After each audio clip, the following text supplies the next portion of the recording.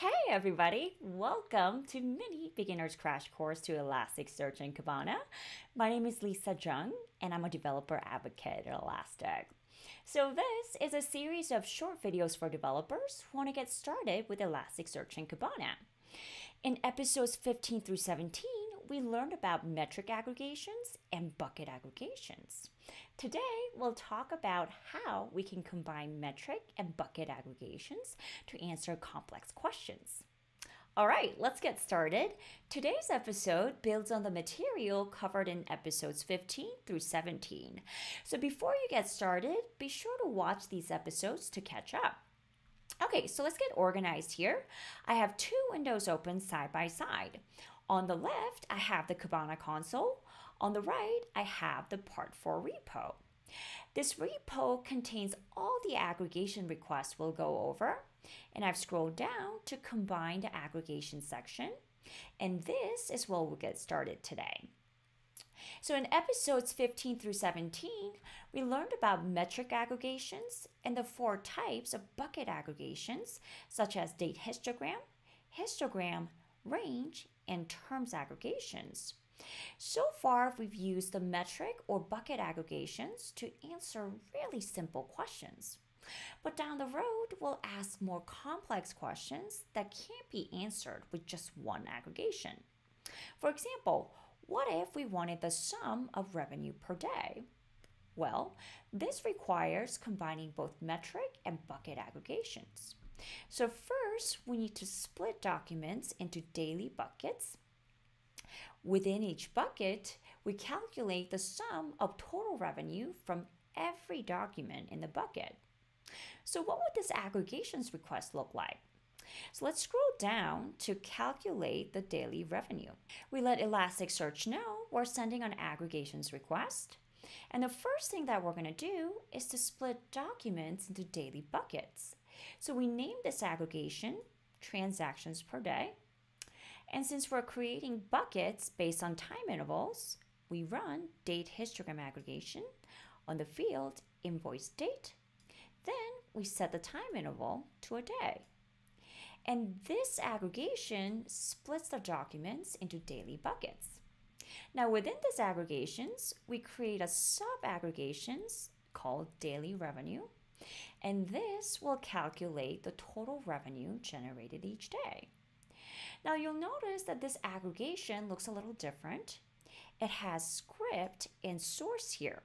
So what's that all about? Well, let's take a look at the fields of our transaction data again. To do so, we'll send the first line of this request here. Let's copy and paste that into the console. Make sure to select and send. When we look at our transaction document, you'll see that it lists the quantity of items sold as well as the unit price of that item. But we don't see the total revenue from this transaction. So to get the total revenue, we need to multiply the value of the field quantity by the value of the field unit price. And this is where script comes in. So script is used to dynamically create something in Elasticsearch. And in our context, it's used to dynamically calculate the total revenue per transaction. What we're seeing here is that for each document in the daily bucket, get the value of the field unit price, then multiply that by the value of the field quantity. That will calculate the total revenue of each transaction in our bucket. Then it'll sum them all up to calculate the daily revenue. So let's copy and paste that into the console. Make sure to select and send. All right, so let's scroll down a little bit here and you'll see that it split our data into daily buckets. For example, we have one here from December 1st, December 2nd, and so on. It also includes how many documents, the transactions that have occurred that day, and the revenue generated from each day. Now, a cool thing about Elasticsearch is that you could build any combination of aggregations to answer more complex questions. For example, what if we want to get the daily revenue and the number of unique customers per day. This requires calculating multiple metric aggregations per bucket. So let's go over how we could do that. So scroll down to calculating multiple metrics per bucket, then down to example. So all of this is exactly the same as a last request, but we're adding an additional metric aggregation within the sub aggregations here. So we're saying, okay, we'll split the data into daily buckets. Within each bucket, calculate the daily revenue.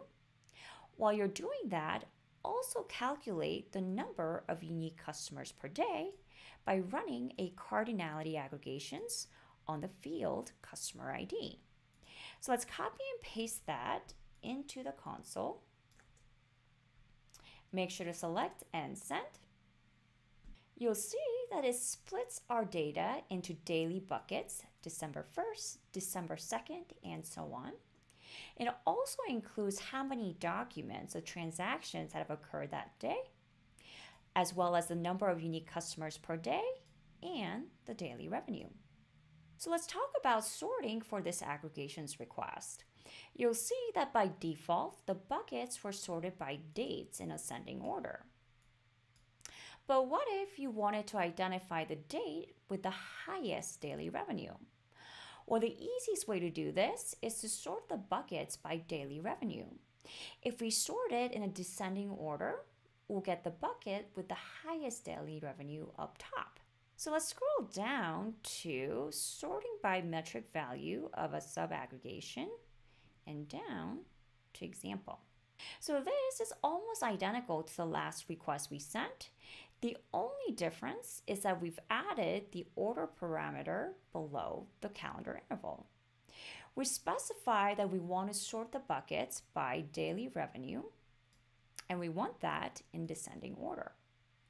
So let's copy and paste that into the console.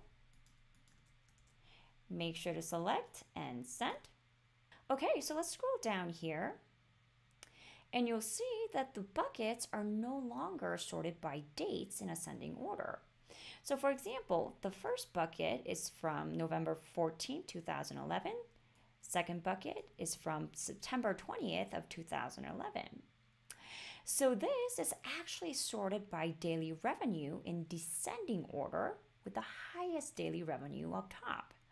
So November 14th of 2011 is a day with the highest daily revenue.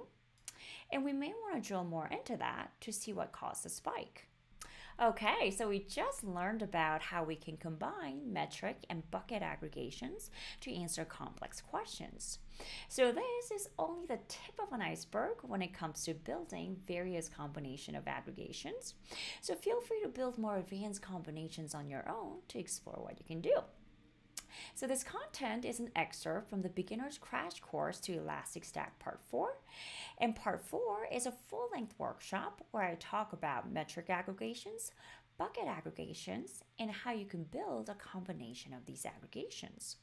So if you prefer the full-length workshop format, check out the link on the screen, and the link is also included in the description of this video. Thank you for watching, and I'll see you in the next episode of Mini Beginner's Crash Course to Elasticsearch and Kibana.